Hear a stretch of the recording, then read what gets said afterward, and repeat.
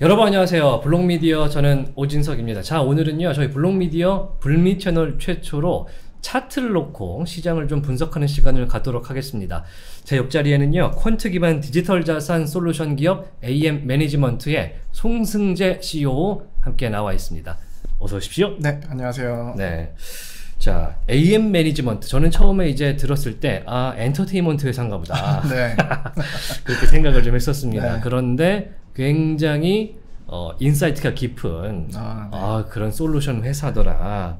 그리고 또 이제 AM 매니지먼트, 뭐, 송승재 이사님께서 제일 네. 잘 아시겠습니다만, 저희 블록 미디어와 굉장히 끈끈한, 어, 그런 관계가 좀 있지 않습니까? 네. 네. 저희가 뭐 매 주마다 리포트도 같이 공유 드리면서 그렇습니다. 네, 또 그거를 이제 또 잘 작성해 주시고 예. 네, 굉장히 감사하게 생각하고 있습니다. 네, 매주 월요일에 이제 기사를 보시면요. 저희 정하인 기자가 AM 매니지먼트의 weekly 보고서 이 뒤에 보이시죠? 이 weekly 리포트를 기사로 정리해서 보내드리고 있습니다. 그래서 저희가 이제 동영상 버전을 통해서 아 정말 좀 움직이는 차트를 통해서 네. 시장을 빠릿빠릿하게 좀 전해드리겠다. 그래서 저희가 이 자리를 마련을 했는데요. 일단은 먼저 어. 어, AM 매니지먼트 소개를 잠깐 듣고 뭐 제가 뭐 quant 기반 뭐 이렇게 얘기했지만 네. 저도 quant 기반 뭐 어쩌고 잘 모르기 때문에 네. 직접 좀 소개 좀 해주십시오. 네, 저희는 뭐 간단하게 말해서 이제 quant 기반 회사고요. 예. 저희가 이제 이 quant 전략을 디지털 자산의 움직임 시장 대응에 맞게 전략을 이제 저희가 만들어서 예. 그거를 저희가 이제 솔루션을 하고 있습니다. 예. 대신에 이제 저희 특징이 있다라고 하면은 어, 논 커스터디 비수탁형 으로 저희가 서비스를 모두 진행하고 있다는 점. 수탁형이고 수탁형이 아닌 건 뭔 차입니까? 어, 스탁형 같은 경우는 이제 일임을 받는 거죠. 고객들의 자산을 저희가 일임을 받아서 그거를 보관을 해가지고 저희가 운용을 하는 건데 음. 이제 비스탁형이라고 하면은 뭐 여러 가지는 있겠지만 저희 같은 경우는 이제 거래소 API를 연동을 해서요. 예. 어 저희가 이제 퀀트 전략을 저희가 API로 연동을 해가지고 그 프로그램으로 어, 고객들의 운용을 도와주고 있습니다. 네. 네, 어떻게 보면 이제 컨설팅이다. 음. 네. 근데 송승재 CEO님 제가 이제 처음 뵀어요 오늘 사실 네. 항상 사진만 이렇게 듬직한 모습 보다가 굉장히 젊으시군요. 언제쯤부터 이걸 네. 하신 거예요? 저는 17년도부터 이제 가상자산이 한창 예. 상승장 붐이 있었을 때 예. 그때 저도 똑같은 개미 투자자로 예. 같이 진입을 했었습니다. 아, 이 바닥에 있는 사람 다 그렇더라고요. 돈 벌려고 하다가 네. 사업을 하다가 하려고 하다가 네. 거기서 자기의 이제 취향에 맞는 분야로 뻗어 나가는 그렇죠. 거. 네. 참 그리, 그리고 나서 이제 어 뭐랄까 시장 시장을 분석하고 그거를 서비스 단으로 옮기려는 곳이 바로 지금 AM 네, 매니지먼트인 맞습니다. 거잖아요. 그래서 저희가 어 물론 뭐 퀀트 분석한다는 곳은 상당히 많지만 그 중에서도 어 저희와 아주 끈끈한 어, 연이 있는 이 AM, AM과 함께 계속해 보도록 하겠습니다. 일단은 뭐 거두절미하고 현재 시장 진단부터 하겠습니다. 어, 분위기 네. 심상치 않습니다.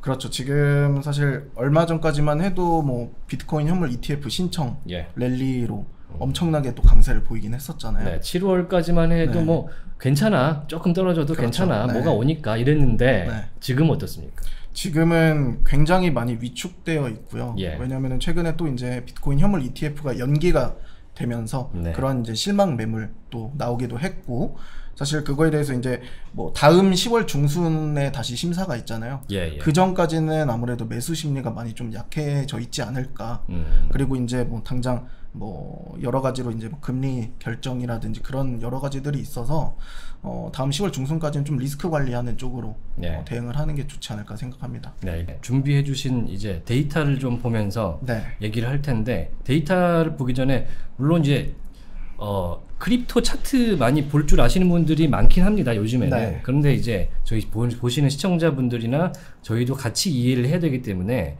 기술적 분석 이제 뭐 quant 분석을 하시는 회사지만 어떻게 뭘 보고 어떤 내용으로 이해해야 되는지 정도는 좀 먼저 설명을 해주시면 좋을 것 같아요. 네.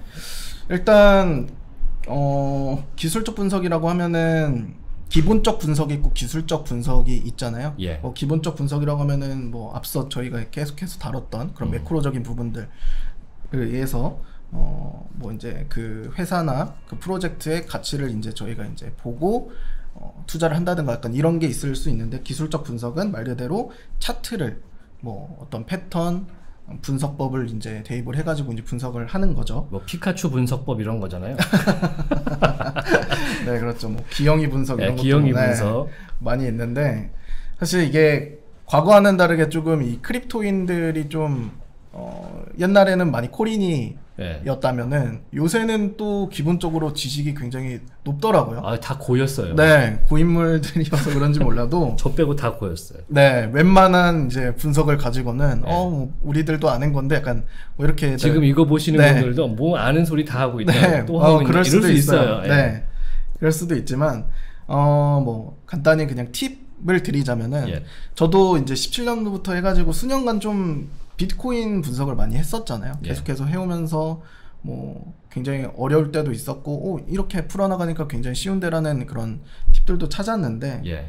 중요한 거는 간 최대한 간결로 간단하게 분석하는 게 중요한 것 같아요. 음. 어, 그러니까 저도 처음에는 비트코인 분석을 할 때 뭐 보조 지표들이 있잖아요. 보조 지표들을 굉장히 많이 켜놨어요. 보조 지표라는 건 어떤 건가요? 뭐 이제 그 차트를 보면은 뭐 RSI 그러니까 상대 네. 심리 지수 뭐 이런 거라든지 뭐 여러 가지들이 있는데 뭐 증권에서 MACD. 분석하듯이 네, 그렇죠. 뭐 공시했던 거 다 띄워놓고 네. 뭐 그런 거죠. 네 그런 것들이 있는데 어 사실 굉장히 다 무의미하더라고요. 어.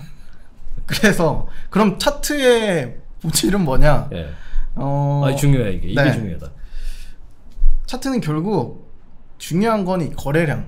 거래량, 네, 볼륨. 그렇죠. 거래량과 candle 음. 그리고 이평선. 음. 우리가 그냥 트레이딩뷰 차트를 딱 켰을 때 나오는 게 이 세 음. 가지거든요. 네. 네. 뭐 어떤 패턴이 그려져 있는 것도 아니고 어느 거래소를 들어가도 예. 그냥 차트에 딱 나와 있는 게 거래량 candle 이평선 이거는 딱 기본적으로 세팅은 돼 있어요. 예. 네. 가장 먼저 눈에 보이는 거죠. 그렇죠. 딱히 내가 뭘 누르기 전에. 네. 예. 어, 제가 건드리기 전에 가장 먼저 보이는 게 있는데 사실 이 세 개가 가장 중요한 거더라고요. 어, 제가 봤을 때는. 예. 거래량은 사실 거래된 말 그대로 거래된 양을 나타내는 거기 때문에 옆에 써 있는 거. 네. 예.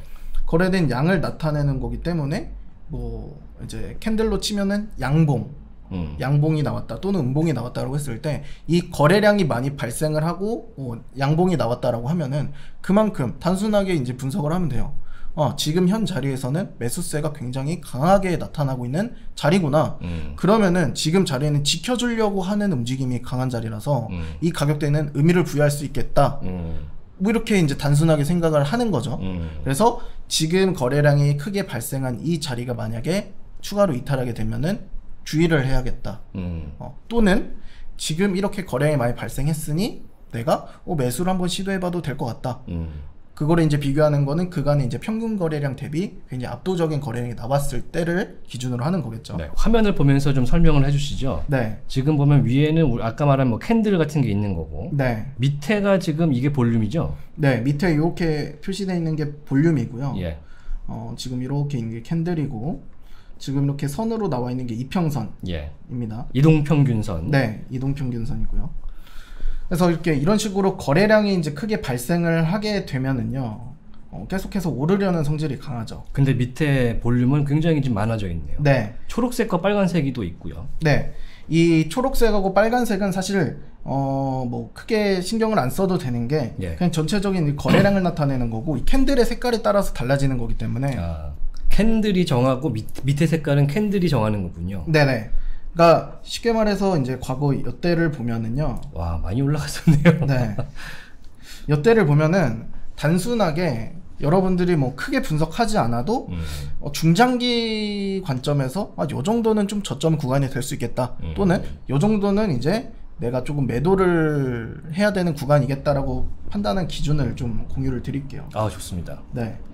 사실 보면은 추세는 항상 올라가기만 하지 않고 내려가기만 하지도 않아요. 음. 항상 무언가를 조금 이제 오르락 내리락 하죠. 계속 왔다 갔다 네. 하죠. 그거를 이제 그러면서 만들어진 게 뭐 하나의 패턴인 거고. 예. 네. 그래서 봤을 때 일정 구간에서 횡보를 하고 예. 또 일정 구간에서 또 횡보를 하고 또 일정 구간에 횡보를 합니다. 네.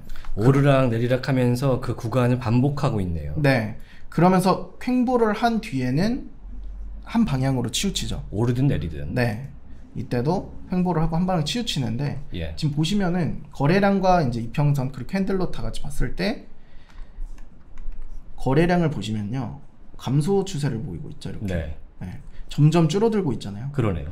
그리고 이 캔들을 보시면은 캔들의 이 몸통 부분 꼬리 말고 이 몸통 부분을 보시면요. 가운데 정도. 네, 이 몸통 부분을 보시면은 예. 몸통 기준으로 봤을 때도 계속해서 낮아지고 있습니다. 네. 네.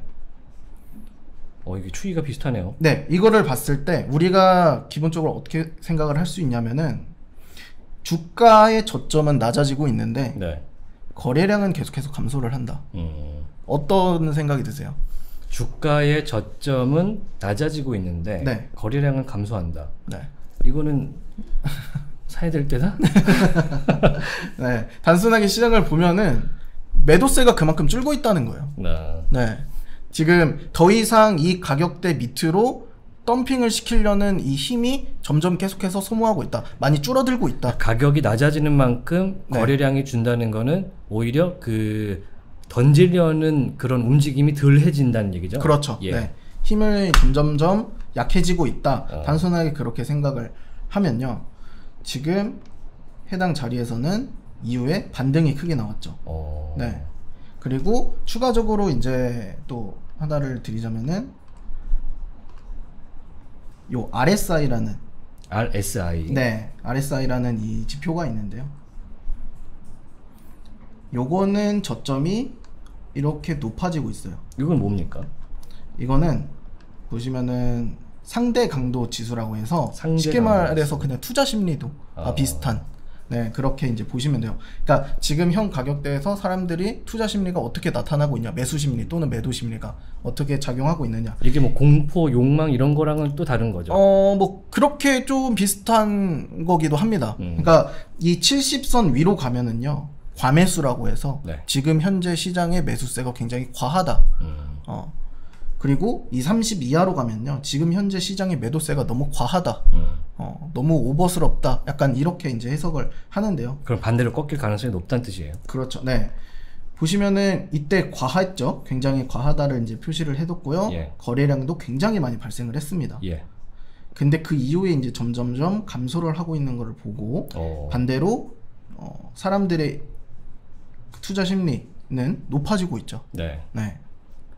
투자 심리가 높아지고 있는 것을 봐서는 주가의 저점은 낮아지고 있는데 사람들의 심리는 굉장히 매수세가 계속해서 붙고 있다. 음. 시장의 매수세는 계속해서 어, 발생을 하고 있다를 보면은 아, 지금 현재 자리는 저점이 될 수 있는 구간이 되겠구나. 음. 이제 약간 반전을 준비하는 구간이겠구나라고 우리가 예상을 할 수 있습니다. 어. 이것을 이제 단순하게 말해서 divergence, 상승 divergence라고 하는 뭐 시장을 보는 분석법 중에 하나 고요. 음.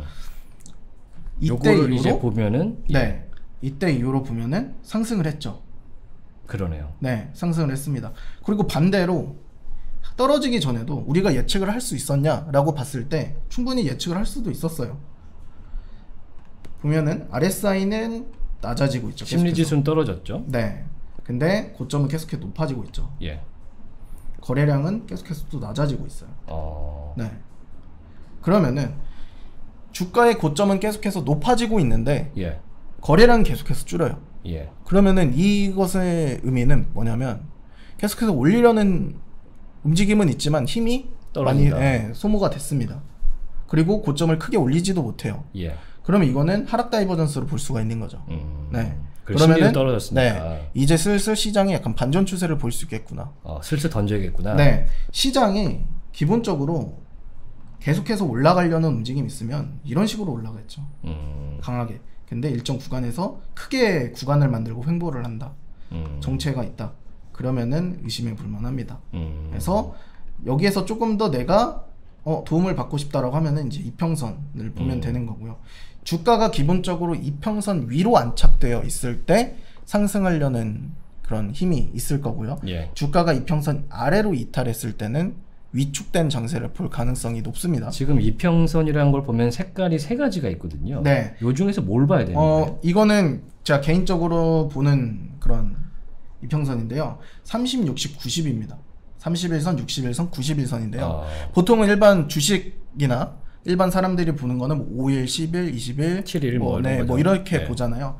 저는 근데 이제 30, 60, 90으로 보는 거는 단순히 그냥 추세의 강도 거 를 보기 위함이에요. 음. 어. 그러니까 저희 제가 이제 이제까지 계속해서 수년간 분석을 해오면서 저만의 이제 하나의 그냥 분석법 노하우, 중 예. 네, 노하우 중 하나인데 30, 60, 90을 세팅을 해 놓으면은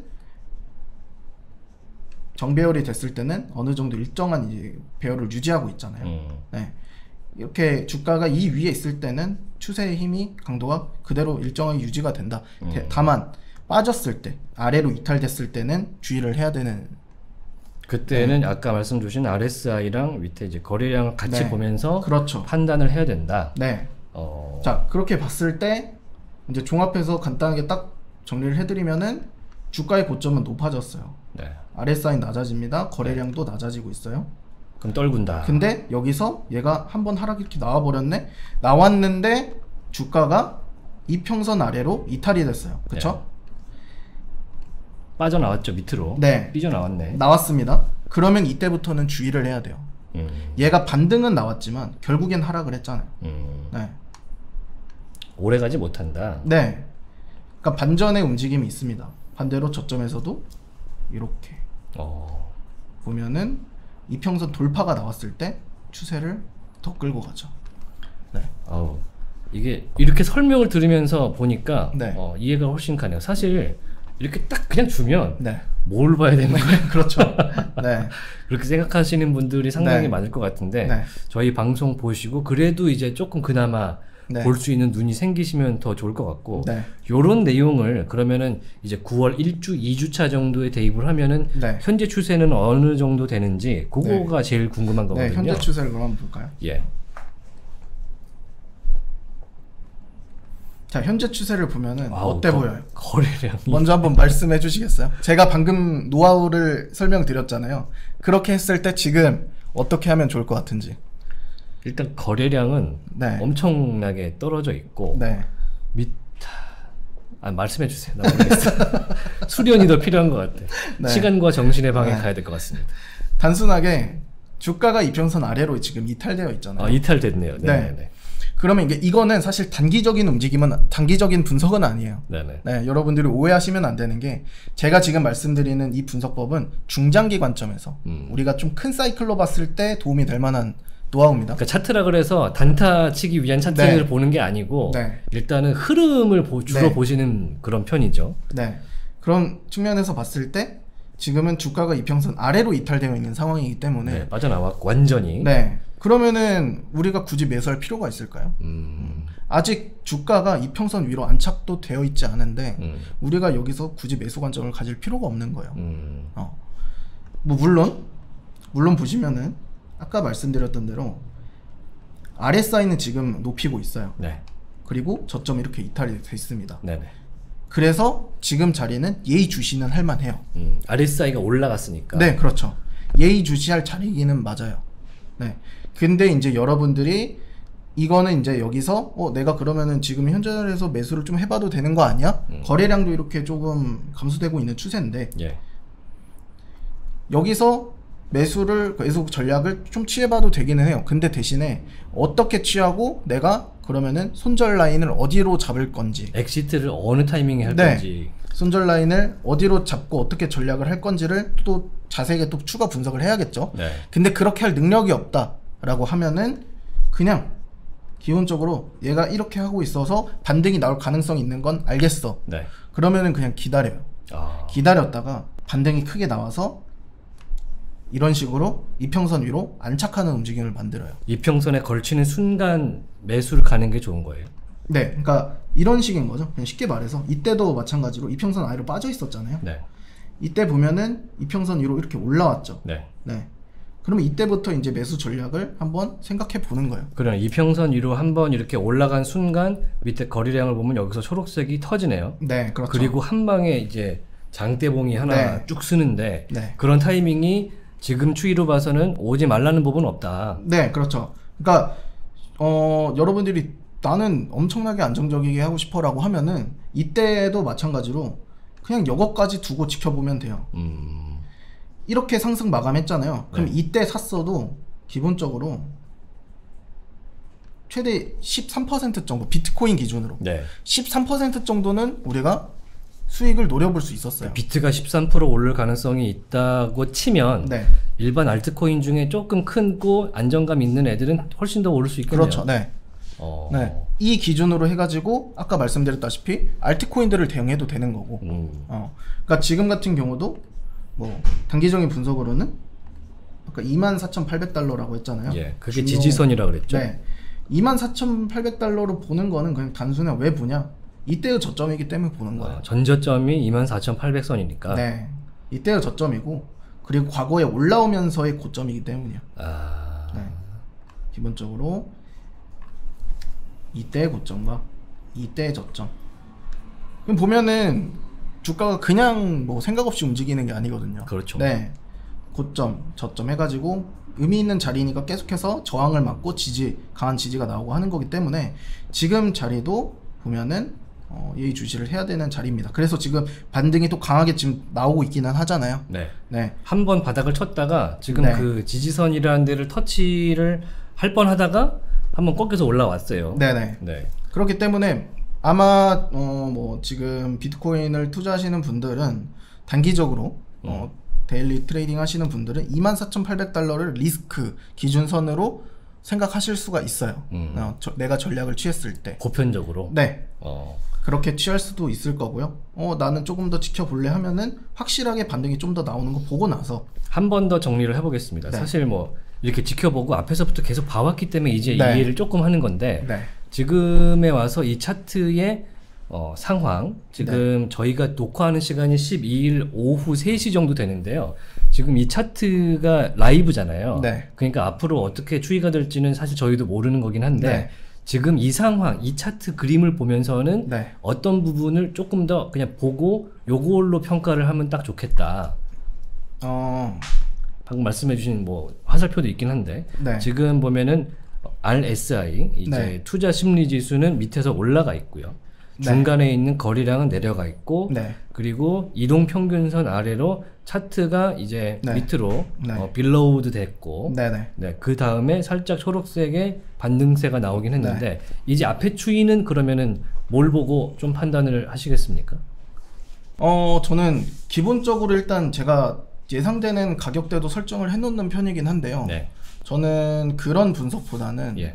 어, 유동적으로 조금 대응하는 거를 좀 더 좋아하긴 하거든요. 음. 이게 스타일마다 다 다르긴 한데, 아니 뭐 어디 보면 목표가 네. 얼마 제시하고 네, 뭐 그렇죠. 주식 방송처럼 할 수 있긴 한데 네, 그게 지금 crypto 시장에 어울리는지는 사실 전 모르겠습니다. 네, 어, 저도 그렇게 생각을 하고요. 그래서 사실 뭐 목표가 얼마까지는 가능할 것 같다 이런 약간 좀 사자 네. 뜬구름 잡는 얘기는 저는 좀 그렇고 그래서 제가 하는 방식은 말씀드렸듯이 이평선 위로 안착하면은 이평선 아래로 이탈하기 전까지는 계속 홀딩한다예요. 아, 네, 이게 이평선에 걸리는지 안 걸리는지 네. 이 레이더를 계속 보면서 간단하네요. 네 간단하게 제가 말씀드린 것만 사실 어느 정도 잘 이해만 하셔도 음. 내가 어디 구간에서 매수를 들어가고 음. 내가 어, 이 정도 이제 holding하고 있는데 만약에 이런 식으로 시그널이 떠요. 이때도 보면은 예. 고점 높아지고 거래량 빠지고 심리 빠지죠. 그러면은 이런 흐름이 나오면은 시그널이 나오면 어 나 이제 슬슬 약간 내가 holding했던 물량을 어느 정도는 정리를 해야겠다. 음. 리스크 관리를 조금 해야겠네. 음. 라고 하고 융통성 유동적이게 조금 정리를 하는 그런 대응을 할수 아우 있죠. 재밌네요. 네. 저도 이제 이렇게 본격적인 본격 차트 분석 그리고 되게 이지하니까 네. 참 설명이 너무 쉽다 이런 생각이 아, 드는데 감사합니다. 그래도 저는 저보고 혼자 하라 그러면 못할 것 같아요. 자 여기서 이제 말씀 하나 드리고 넘어가야 될게 네. 저희가 보여드리는 차트 분석 방법 같은 경우에는 이제 송승재 이사 AM 매니지먼트가 갖고 있는 경험과 노하우를 통해서 이런 식으로 우리는 이 차트를 본다. 그리고 설정을 한다라는 것이지 이걸 따라서 무조건 투자하면 수익을 본다. 이렇게 말씀드리는 부분은 아닙니다. 그 점은 확실히 다시 한번 말씀을 드리고 그러면 이제 시간이 좀 지나긴 했는데 재미로 하나만 더 보죠. 네. 혹시 이더리움 네. 요새 요지부동이라고 제가 말씀드린 거, 네. 걔 상황 끄트머리 이제 앞으로 추이 한번 네. 확인해 보고 갈까요? 이더리움 한번 볼까요? 예, 이더리움은 원화로 원화 좋습니다. 네, 원화로 한번 한국인이니까요. 네. 지금 214만 6천 원 정도 네. 네, 가격 위치하고 있네요. 어, 그리고 지금 보면은 방금 비트코인하고 비교했을 때 보면은 비트코인은 지금 이 저점 위로는 지켜주고 있어요. 음. 보면은 비트코인은 근데 지금 이더리움은 이탈을 했죠. 네.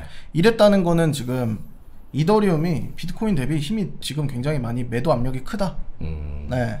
그러니까 팔고 싶은 사람이 많다. 그렇죠. 그러니까 매도세가 더 굉장히 강하게 나타나고 있는 거죠. 네. 네. 지금 밑에 보면 소비자 심리, 예, 소비자 심리, 투자 심리 네. 지수도 네. 아 이게 비트코인하고 확실히 다르군요. 네. 지금 보면은 그래도 일단은 뭐 이거는 높아지고 있기는 한데 요게 일단 이탈이 됐기 비트코인보다 먼저 지금 하락세가 진행되고 있기 때문에 예. 지금 주의를 할 만은 합니다.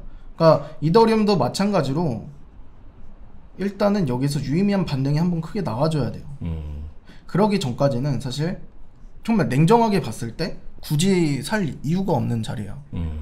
네. 굳이 살 필요가 없는. 그러네요. 지금 보면 이평선에 이제 짝대기 세 개, 이렇게 네. 세개 이제 파동처럼 생긴 끄트머리 거보다도 지금 차트의 네. 어, 지금 저점이 가격 포인트가 굉장히 밑에 있어요. 네. 그러니까 이거를 이제 이격이 많이 벌어졌다. 네, 그러니까 이격이 많이 벌어졌다. 주가와 이평선 간의 격차를 이격이라고 하는데 예.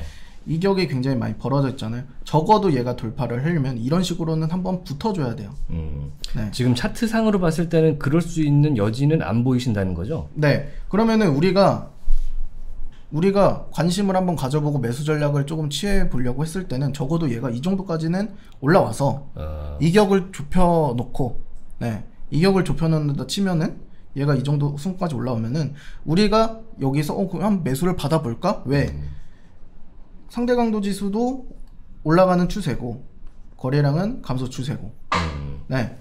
그러면은 우리가 여기서 매집을 이제 한번 해봤을 때 손절 라인을 여기로 그냥 쉽게 잡을 수가 있는 거거든요. 음. 네. 근데 지금은 그러한 관점들을 보기에는 아직 예, 굉장히 지금 반등할 수 있는 기세보다는 하방 기세가 네. 좀더 센 상황이라서 지금 지표상 간단한 네. 세 가지로 봤을 때는 조금 힘든 구석이 있다. 네, 굳이 뭐 살 필요도 없고 어. 아직까지는 그냥 여유롭게 두는 게 맞죠. 그러면 이제 하나만 더 여쭤볼게. 네. 어 재밌네. 아 이거 차트가 아, 재밌네. 감사합니다. 차트가 재밌고 굉장히 보는 맛이 있어요. 아, 네. 왜냐면 우리는 맨날 뭐 매크로가 어쩌고 뭐 파월의 이입이 어쩌고 하는데 글자만 보다가 네. 일단은 뭐 그림 좀 보니까 어, 눈이 좀 시원해집니다. 네. 그럼 이제 송 이사께서 이제 보다 보면은 어 얘는 시그널이 어, 나쁘지 않다. 네. 어 얘는 좀 뜻밖의 괜찮게 좀 오를 수도 있겠다. 네. 이런 걸 발견한 그런 코인이나 토큰이 있습니까? 어, 사실 저는 비트코인 위주로 좀 많이 보고 이 알트코인들을 제가 매매를 할 때는 네. 보통 일반적으로 이게 제가 흔히 쓰는 이제 말인데 뭐 줄 맞추기를 한다고 하거든요. 줄 맞추기. 네. 그런 이평선 이평선들하고 이제 봤을 때 이게 전체적으로 오를 분위기가 나타나기 직전에 나타나는 현상은 보면은 비트코인 일단 안정적인 상황에서 네. 알트코인들이 모두 다 전반적으로 이평선 위로 안착이 돼 있습니다. 최소한 겹치거나. 네. 예. 안착이 돼 있고 이평선들이 뭉쳐 있어요. 음. 주가가 이평선 위에 안착돼 있고 그게 전체적으로 비슷하게 패턴을 다 만들 때가 있습니다. 30일, 60일, 90일 이평선이 위로. 겹쳐져 있고 네. 그 위로 지금 차트가 올라와 있는 상태. 네. 그런 움직임을 보일 때 저는 그때부터 알트코인들을 적극적으로 매매를 어. 하기 시작을 해요. 근데 이제 뭐 그런 것들을 다 떠나서 뭐 지금 현재 기준에서 음. 얘는 무슨 코 얘는 뭔데 이렇게 추세를 보이고 있지라고 제가 생각하는 코인은 트론이거든요. 아 있긴 있군요. 네. 어 트론 우리 저스틴 네. 선의 트론. 사실 제가 아. 이 저스틴 선은 약간 좀 괴짜 이미지가 좀 있잖아요. 저희가 이번에 KBW에서도 네. 1대1 인터뷰를 하긴 했습니다. 어, 네. 네, 그래서 곧 나갈 예정인데. 네. 근데 또 인터뷰에서는 또 양, 어, 얌전하긴 한데 네.